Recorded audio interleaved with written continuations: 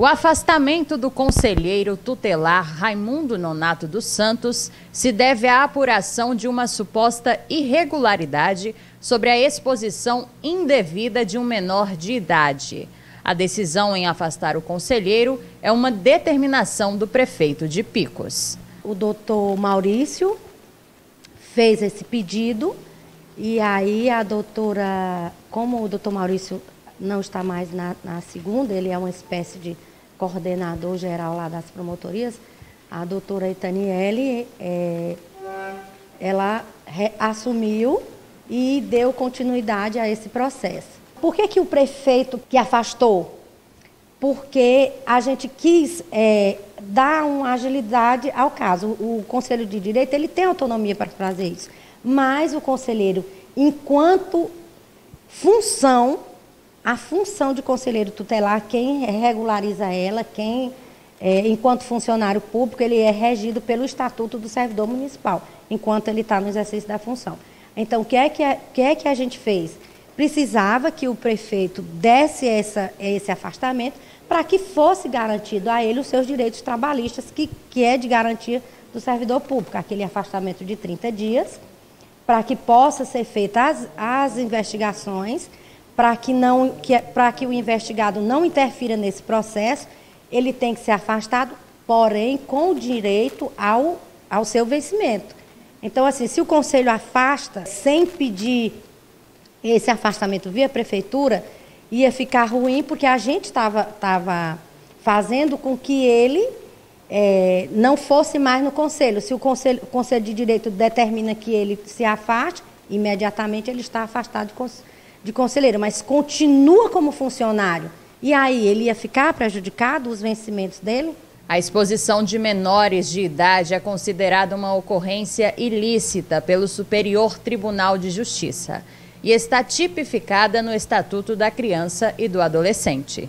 Que preza pela, pelo resguardo total da imagem, do psicológico, do fixo da criança.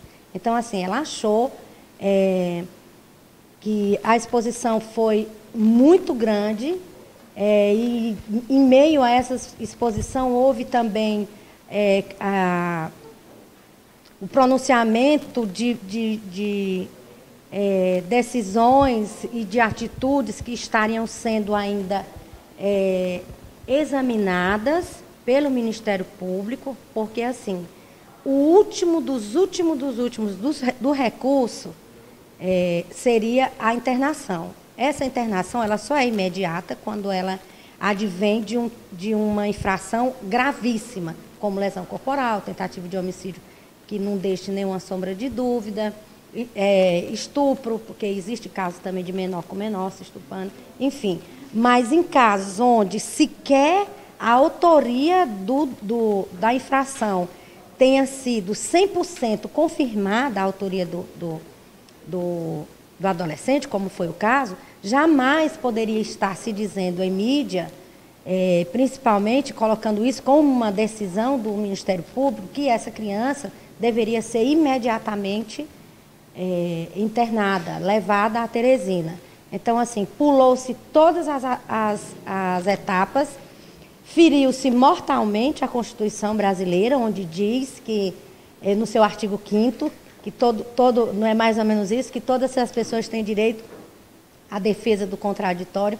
E isso se tratando de uma, de uma criança, adolescente, que ele está, é, no caso em questão, a, a criança estava nesse meio termo, nessa transição entre criança e adolescente, é, por si só já é grave. E isso, feito pelo conselheiro tutelar, aí para a promotoria, e para a gente do Conselho de Direito é gravíssimo, é uma atitude gravíssima. O afastamento vai se estender pelo prazo de 15 dias. Durante esse período, será apurada a conduta funcional do conselheiro tutelar. As pessoas acham que porque o conselheiro foi afastado, é como se fosse assim um negócio é, que ele vai perder a assunção dele de conselheiro ou que ele não pode mais ser candidato. Tudo isso, no final, pode ser que sim, mas de início não. De início, o que é que a gente tem? Um pedido da promotoria, onde a gente vai apurar, é, por que foi passado um material riquíssimo, é inconteste, inclusive eh, com os artigos do, do Estatuto da Criança e do Adolescente que foram violados, então, assim, é inconteste de nossa parte. O que é que a gente pode fazer? É, analisar junto com ele é, qual foi, se houve o interesse de autopromoção, porque se tratava de um caso de grande repercussão, se foi a, aquela ansiedade de, de, de, notificar a sociedade que o conselho estava ali, estava atuante, enfim. E a gente só sabe, só vai saber disso quando a gente conversar com ele. Porque o material que nos foi fornecido é em conteste. O que a gente vai saber, o que o conselho precisa saber é qual foi o recorte que foi feito naquele momento? Qual foi a intenção ou não foi intencional?